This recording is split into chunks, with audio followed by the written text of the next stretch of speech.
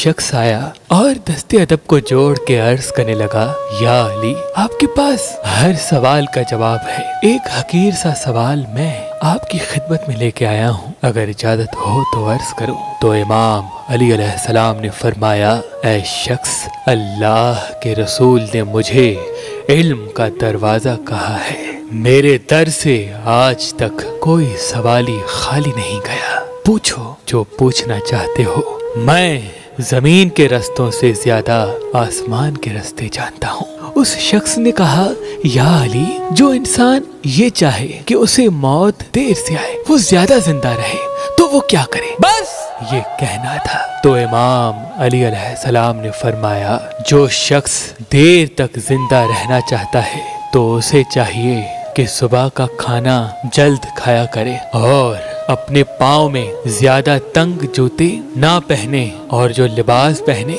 वो हल्का सा हो। और फजर के बाद या असर के बाद ऐसी जगह पे जाया करे जहाँ दरख्त हो, खुला आसमान हो, खुशगवार माहौल हो, अपने जिस्म पे मेहनत को नाफिज करे और औरतों के पास कम जाया करे। जिस इंसान ने इन चीज़ों पे अमल किया तो अल्लाह के करम से वो जिस्मानी और रूहानी अमराज से दूर रहेगा और मौत उसके जिस्म पे देर से आएगी। ऐ शख्स, याद रखना, अल्लाह ने लोहे महफूज पे इंसान की मौत को इतना जल्द नहीं रखा। लेकिन इंसान की गलत आदतें वक्त से पहले इंसान को खत्म कर देती हैं। वक्त से पहले इंसान इमाम जाफ़र सादिक सलाम ने फरमाया, जो इंसान मरजान पत्थर पहन के अल्लाह से जो दुआ मांगेगा, चाहे उसके मुकद्दर में हो या ना हो, अल्लाह उसे अदा कर देगा। तभी इस पत्थर को मुकद्दर बदलने वाला पत्थर कहा जाता है।